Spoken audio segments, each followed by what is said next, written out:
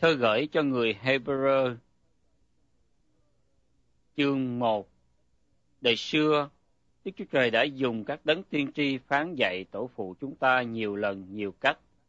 Rồi đến những ngày sau rốt này, Ngài phán dạy chúng ta bởi con Ngài là con mà Ngài đã lập lên kế tự muôn vật, lại bởi con mà Ngài đã dựng nên thế gian.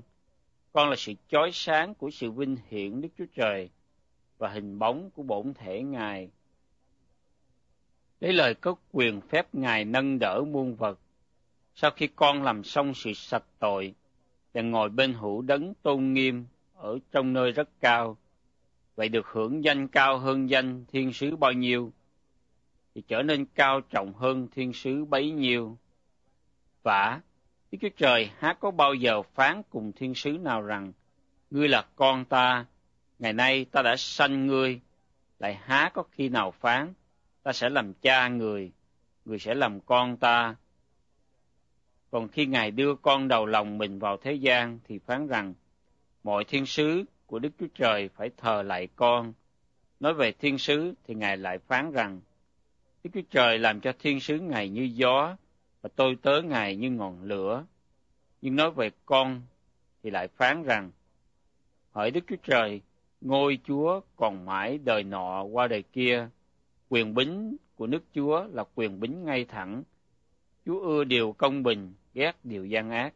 Cho nên, hỡi Chúa, Đức Chúa Trời của Chúa lấy dầu vui mừng sức cho, khiến Chúa trỗi hơn kẻ đồng loại mình.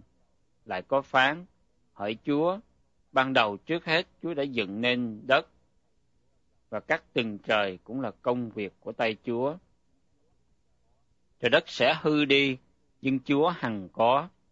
Trời đất sẽ cũ đi như cái áo, Ngài sẽ cuốn nó lại như cái áo tròn, rồi trời đất sẽ biến đổi, nhưng Chúa vẫn y nguyên.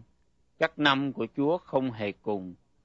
Đức Chúa Trời há có bao giờ phán cùng thiên sứ nào rằng, hãy ngồi bên hữu ta, cho đến chừng nào ta để kẻ thù nghịch làm bệ dưới chân ngươi. Các thiên sứ há chẳng phải đều là thần hầu việc Đức Chúa Trời đã được sai xuống để giúp việc những người sẽ hưởng cơ nghiệp cứu rỗi hay sao?